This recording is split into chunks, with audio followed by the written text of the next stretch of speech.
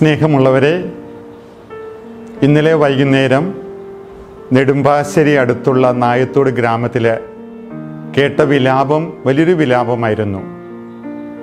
രണ്ട് കൊച്ചുകുട്ടികളും പൂർണ ഗർഭിണിയായ പിൻസിയുടെ വിലാപമായിരുന്നു അത്. ഞായറാഴ്ച വൈകുന്നേരം കടയിൽ സാധനങ്ങൾ വാങ്ങുവാൻ പോയ സിനോജ് അവിടെ വെച്ച് കുഴഞ്ഞു വീണ് മരിച്ചു. മുപ്പത്തൊമ്പത് വയസ്സുള്ള ഒരു ചെറുപ്പക്കാരനായിരുന്നു അദ്ദേഹം.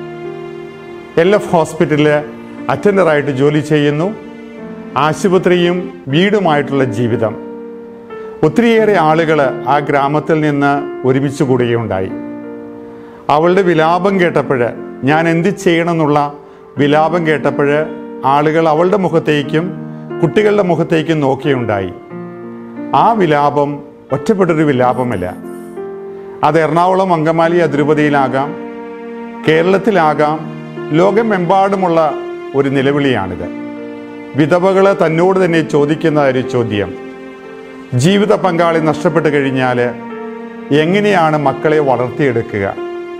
എങ്ങനെയാണ് വ്യക്തിപരമായ ആവശ്യങ്ങളും വികാരങ്ങളും മാറ്റിവെച്ചിട്ട് പോലും കുട്ടികളുടെ ആവശ്യങ്ങളിലേക്ക് ഇറങ്ങുമ്പോൾ അവർക്ക് സംതൃപ്തികരമായ രീതിയിൽ അവർക്ക് വളർച്ച നൽകുവാനായിട്ട് അവരെ സഹായിക്കുക. ഈ ആവശ്യം മനസ്സിലാക്കിയാണ് കഴിഞ്ഞ കുറേ വർഷങ്ങളായിട്ട് എറണാകുളം അങ്കമാലി അതിരൂപതയിൽ ജൂഡിത്ത് ഫോറം വിധവകളോടൊപ്പം വർക്ക് ചെയ്യുക. പ്രധാനമായൊരു കാര്യം അവരെ ഒരുമിച്ച് കൂട്ടുക അവരുമായിരുന്ന് പ്രാർത്ഥിക്കുക അവരുടെ കഴിവുകൾ കണ്ടെത്തുക അവരുടെ കഴിവുകൾ അവരുടെ കുഞ്ഞുങ്ങളുടെ ജീവിതങ്ങളെ പ്രകാശമാനമാക്കുവാനായിട്ട് അവരെ സഹായിക്കുക. ഓരോ വർഷവും ഒരുമിച്ച് കൂടി അങ്ങനെ ചിന്തിക്കുകയും പ്രവർത്തിക്കുകയും ചെയ്യുന്നതിന്റെ ഫലമായിട്ട് അനേകം വിധവകളിലേക്ക് കടന്നു ചെല്ലുവാനായിട്ട് നമുക്ക് സാധിച്ചു എന്നുള്ളത് വളരെ സന്തോഷകരമായ ഒരു കാര്യമാണിത്. ഈ ആശയം മനസ്സിൽ കൊണ്ട് നടക്കുകയും അതിനെക്കുറിച്ച് ധ്യാനിക്കുകയും ചെയ്ത കല്ലേലിയച്ചൻ അതിനെക്കുറിച്ച് മറ്റു കൂട്ടുകാരോടൊപ്പം അനേകം ഇടവകളിൽ പോയി സംസാരിച്ച ബീനച്ചേച്ചി സിസ്റ്റർ അനീഷ അനേകരുടെ പരിശ്രമ ഫലമായിട്ടാണ് ഇങ്ങനെ ജൂഡിത്ത് ഫോറം മുന്നോട്ട് പോകുക. ഈ മാസം നമ്മൾ ഒരുമിച്ച് കൂടുകയാണ്.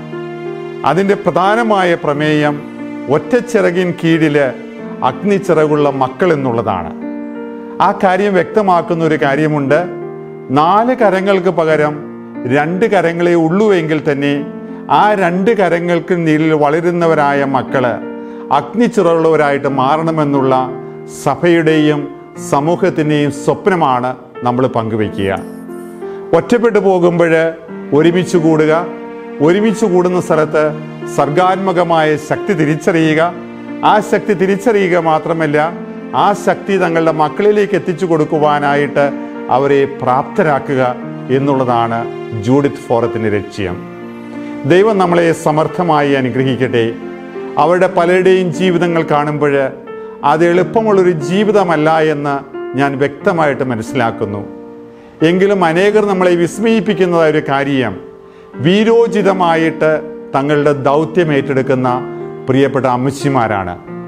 ഞങ്ങൾ അവരോട് ഐക്യദാർഢ്യം പ്രഖ്യാപിക്കുന്നു. സംഘം ചേരുവാനായിട്ട് അവരെ ആഹ്വാനം ചെയ്യുന്നു. സംഘം ചേരുമ്പോഴാണ് അവരുടെ ശക്തി തിരിച്ചറിയുവാനും മറ്റുള്ളവരിലേക്ക് പടർന്ന് വികസിക്കുവാനും അതുമാത്രമല്ല തങ്ങളുടെ മക്കളെ മറ്റു മക്കളെ പോലെ തന്നെ സ്നേഹമുള്ളവരും കഴിവുള്ളവരും പരോന്മുഖരമാക്കി മാറ്റി തീർക്കുവാൻ അവരെ സഹായിക്കുകയും ചെയ്യുക. ജൂൺ മാസത്തിൽ റിന്യൂവൽ സെന്ററിൽ നടക്കുന്ന സെമിനാറിലേക്ക് നിങ്ങളെ എല്ലാവരെയും സ്വാഗതം ചെയ്യുന്നു. ഇനി വരുവാൻ സാധിച്ചില്ല എങ്കിൽ തന്നെ ജൂഡിത് ഫോറത്തിന്റെ ഭാഗമായി തീർന്ന് നമ്മുടെ ശക്തി തിരിച്ചറിഞ്ഞ് ആ ശക്തി മക്കളിലേക്കും സമൂഹത്തിലേക്കും ഒഴുക്കുവാനായിട്ട് നമ്മളെ സഹായിക്കുമാറാകട്ടെ. എല്ലാവിധ നന്മകളും ആശംസകളും നേരുന്നു. ദൈവം നമ്മളെ സമർത്ഥമായി അനുഗ്രഹിക്കട്ടെ.